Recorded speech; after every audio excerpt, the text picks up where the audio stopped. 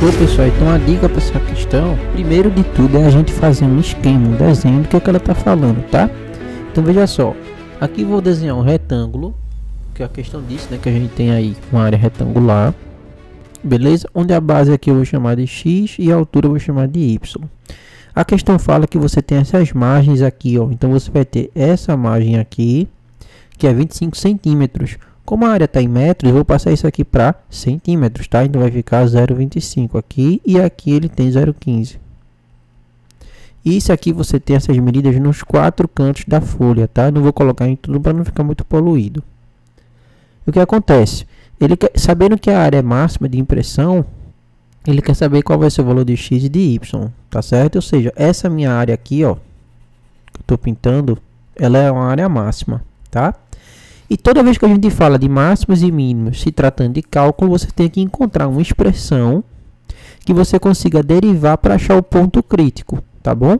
Então, no nosso caso, pessoal, a gente tem que encontrar alguma expressão aqui que envolva a base e a altura e que a gente consiga derivar para justamente achar esse ponto crítico, tá? Então, aqui, ó, se você parar para pensar um pouco, essa sua expressão é da área em função de x e y, ela vai ser quem? x menos 0,5, por quê? Porque 0,25 mais 0,25 vezes y menos 0,3. Só que essa área está em função de x e de y, tá? E a gente tem que recorrer a algum artifício para deixar essa área só em função de uma variável. Qual informação do problema a gente ainda não usou? Veja só, eu não usei essa informação aqui, ó que a área é de 2 metros quadrados, tá? Sem essa, desconsiderando as margens, tá?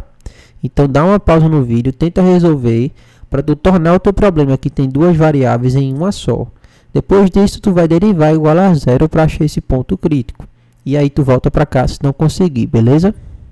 Bom, então aqui a gente tem a área em função de x e y. E aí para a gente ter esse problema com uma variável só, a gente vai usar essa outra equação, ó, onde a área, sem considerar as margens, é de 2 metros, ou seja, x que é a base y que é a altura é igual a 2. Isso aqui me permite isolar uma das variáveis e substituir nessa área e ela aí vai virar então uma área de uma variável só, tá? Então se a gente pegar essa segunda equação e escrevê-la assim, ó, y é igual a 2 sobre x, onde obviamente esse x tem que ser diferente de zero, e pegar e substituir na área em função de x e y, vamos ter o que? Ó?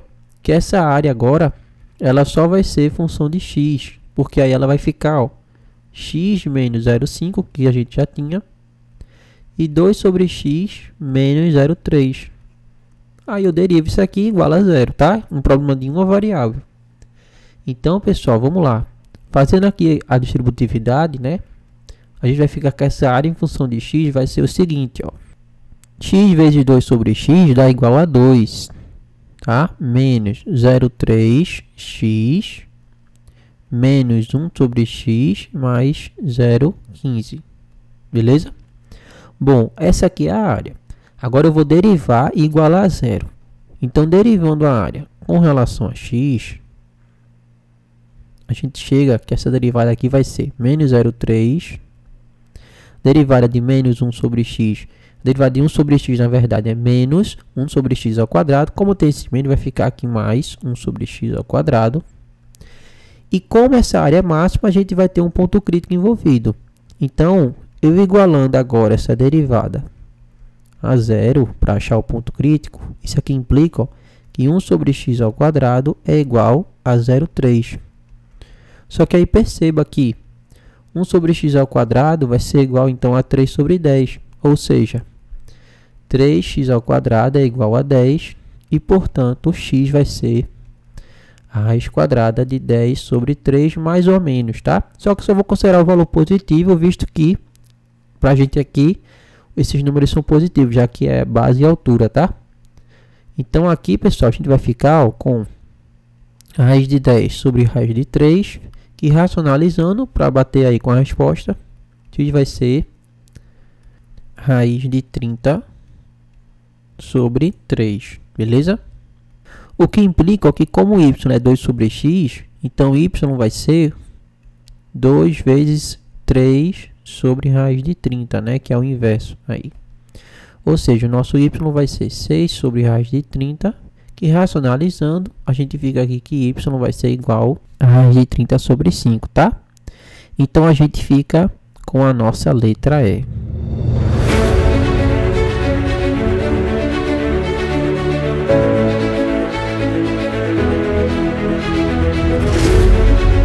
pessoal, esse problema ele trata a respeito de taxas relacionadas, tá?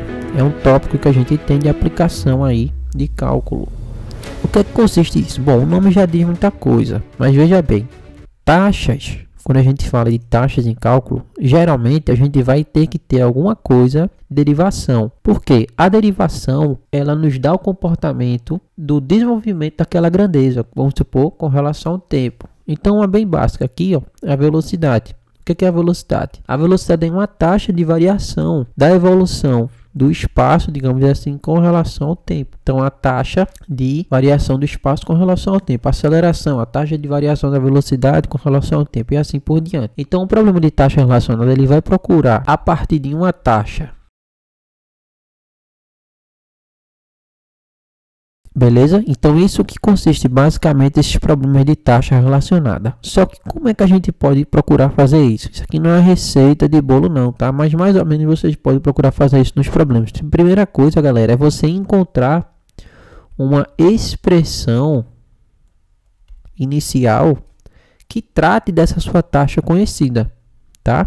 Então, expressão da taxa conhecida. Geralmente, a gente vai conseguir essa expressão através de alguma fórmula, tá?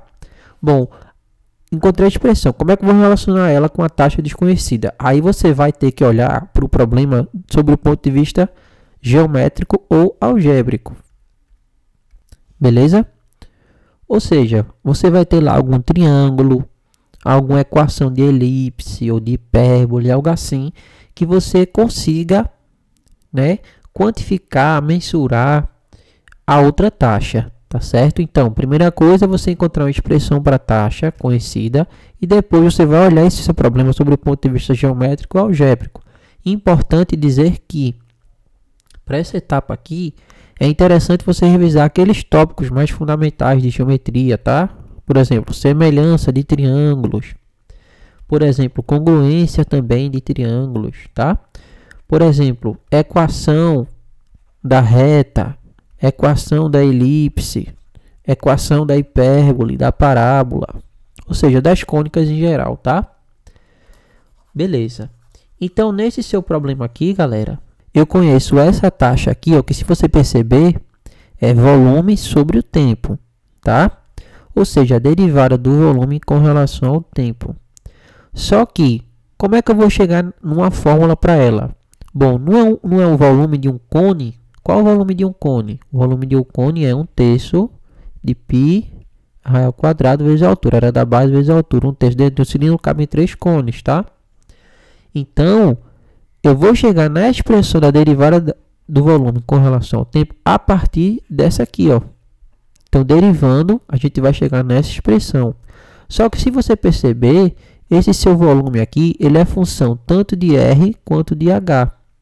Como é que a gente faz para esse seu volume ficar em função de uma grandeza só? Por exemplo, só em função da altura.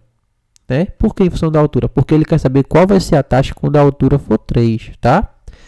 Dica é, como você tem um cone invertido, ou seja, um cone desse tipo aqui, ó, observa esse triângulo retângulo aqui e vê se você consegue relacionar o raio e a altura para substituir na sua expressão de volume e depois derivar em função de uma variável só, tá? Então dá uma pausa, tenta resolver, se não conseguir, volta para cá. Bom, então aqui está a nossa expressão de volume, só que perceba que seu cone é invertido, então você vai ter algo desse tipo aqui, ó, certo? E aí, ó, ele quer saber qual vai ser a taxa em metros por minuto, ou seja, essa taxa aqui, ela está descrevendo taxa de variação da altura com relação ao tempo, quando essa altura for 3, tá? Ou seja, quando você tiver aqui, vamos supor, uma altura igual a 3, ele quer saber qual vai ser essa taxa aqui, ou seja, como é que vai crescer a altura aqui com relação ao tempo, beleza? Então a gente parte dessa informação aqui. Só que observe que o seu volume aqui depende de R e de H. Para a gente escrever o volume só em função da altura, para poder derivar em uma variável, observa que a gente tem esse triângulo retângulo aqui, ó, na questão, tá? Então vou colocar ele aqui no cantinho. E aí observe o seguinte, pessoal, isso aqui, ó, é justamente o raio da sua questão, que é 2. Beleza? Lembra que eu quero relacionar H e R. Aqui, esse comprimento total é a sua altura, que é 4, tá? Aqui é o raio que você quer determinar, o R minúsculo, e aqui é a sua altura H. Então, por semelhança de triângulos, beleza? Pelo caso aqui, ó, ângulo, ângulo, você tem esse triângulo aqui menorzinho, esse aqui, ó, e você tem o triângulo maior, esse cara aqui todo. Então, por semelhança, eu consigo relacionar H e R de que forma? R está para 2, assim como H está para 4. Ou seja, R é igual a 1 meio vezes H. Então, meu volume agora vai ser como? 1 terço de π, que é 3, R ao quadrado dá 1 quarto, certo? Vezes H ao quadrado, vezes H. Então, meu volume ele vai ser simplesmente 1 quarto de H ao cubo. Só em função de H ele está agora. E agora a gente derivando o volume com relação ao tempo, observa aqui. A tua altura aqui, ó, ela também vai depender do tempo, né? Conforme tu, o tempo vai passando, tu vai preenchendo mais aqui essa tua altura, tá certo? Então, aqui vai ficar 1 quarto vezes 3h ao quadrado vezes a derivada de h com relação ao tempo. Por que isso? Porque teu h, pessoal, ele é função do tempo. Então, a gente precisa usar a regra da cadeia, tá certo? Deriva a função interna, derivada de h com relação a t vezes a função externa, beleza? Ou seja, pessoal, a derivada do volume com relação ao tempo é igual a 3 quartos de h ao quadrado da derivada de h com relação ao tempo. Observe que a gente tem as duas taxas, taxa de variação do volume com relação ao tempo e taxa de variação da altura com relação ao tempo. Então, eu estou relacionando uma taxa com outra, um problema de taxa relacionada. Agora acabou, é só substituir os valores. Essa taxa aqui é 2, então vai ser 2 de 3 quartos. A altura que eu estou é 3, ou seja, 3 ao quadrado 9. E aí eu vou achar a derivada de h com relação a t, beleza?